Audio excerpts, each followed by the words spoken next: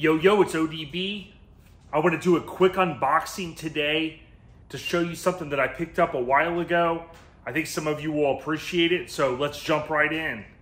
All right, so recently we had two storms here in Florida. One that really wreaked havoc along the coast, and about 10 to 12 days later, another storm that really wreaked a lot of havoc inland with uh, torrential rain downpour as well as high winds.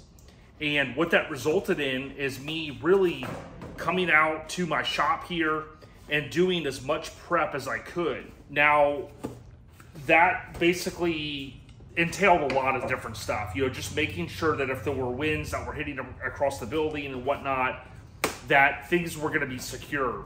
So I moved a bunch of stuff around and I knew that I've had this for a while and if you know me, I'll buy things to make sure that if it's something I really want, I'll pick it up because I I rarely, if ever, will pay the resale value on things. So, for instance, when I wanted the Back to the Future Valterra board, I was aware that there was possibly going to be one that would come out, and I made sure I made sure that I was ready to rock and roll when that thing became available because I don't want to go on eBay three months later and, and pay double the price. That's something similar what happened here. I picked this up and I was just looking at, I picked this up and I was just looking at the shipping label. I bought this and uh, the date on it is August 17th of 2022, just over two years ago.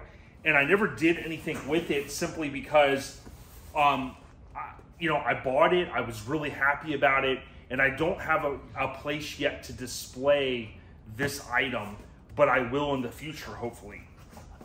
So what I've done is I've slit the box open. We're gonna take out some of the packing material and let's just get right to it. What do you think this is? Based upon the size of the box. Well, you guessed a skateboard. You are correct, okay? Now, uh, here's what I did. I, um, over the course of time, have tagged this skate, this professional skateboarder many, many times. Uh, just trying to, to say, hey, look, other people are reissuing decks. It would be so awesome if you did that as well. And this guy, this professional, he eventually got around to releasing some decks. And this is Kevin Staab. Now, uh, I'll talk a little bit more about another deck here in the next video that I'm going to do. But as a child, as a kid, as a, a youngster, uh, a, a, neighbor of mine by the name of Larry Parker, not the attorney for those on the West Coast, uh, he was an amazing skater. I mean, this guy could ollie over a garbage can. I mean, he was he was amazing. He had a mini ramp. I think he had a full size ramp, then a mini ramp in his backyard. It was so cool to watch him skate. And he had a Staab. Now, not this exact one, but he had a Staab. And it made me kind of fall in love with the graphics as a kid. I sucked at skating. I did skate. I could do a couple things, but not very much. Um, Staab has some of the most iconic graphics out there. And, you know, looking in some of the usual places, it's just really, really, really hard to find anything that's original that's not gonna, you know, cause you to have to remortgage your house, right? So I kept tagging Staab over the course of time, a couple posts a year. I was like, man, it would be awesome. And lo and behold, he did relaunch some decks. Now he's continued to do this. I think it's Staab Treasures is his website, and I'll show you a close up here in a minute. But let me know if you remember the name. Uh, you know, many of you potentially that are going to land on this video were skaters yourself and things like that. But I'll tell you what, these graphics are so iconic. This was not my favorite one. This was the first one he launched, so I jumped on it thinking that, hey, if this is the only one he ever does, I want to get it. Luckily for me, less than a year later, he did another launch that was in the summer, early summer, if you will, of 2023. And I'll be talking about that deck more. But let's look at some close ups and wrap up this video. Let me know what you think. Staab, thank you so much, Kevin Staab, for doing this. It's so awesome. I love this pink color, love this graphic. It's gonna look good once I eventually display it. All right, so looking at this graphic, it just came out so good.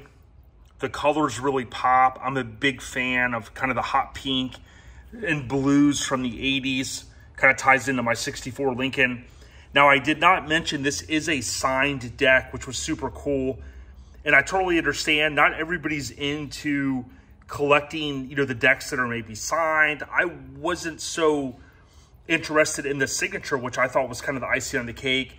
I know this stuff can be kind of an expensive hobby, but for me, the good thing is I don't have a lot of boards. So the few that I have or the few that I really desire, I pretty much already acquired. So sure, if you're going to buy one or two here and there, uh, it's not going to break the bank. But certainly if you're looking for OG stuff or you're looking for, uh, you know, to collect every color of a colorway, it obviously gets way more expensive. Here's the last two looks of it. This is, of course, against the 64 Lincoln Continental Blue, the patina car that I own. And then we'll look at the other side now. And then there you go. There's the top side with that famous Staab Pirate logo. And plain for the most part. Thanks for watching, everyone. Let me know what you think in the comments. Stay on the rise. I do believe it's an original shape, too. Peace.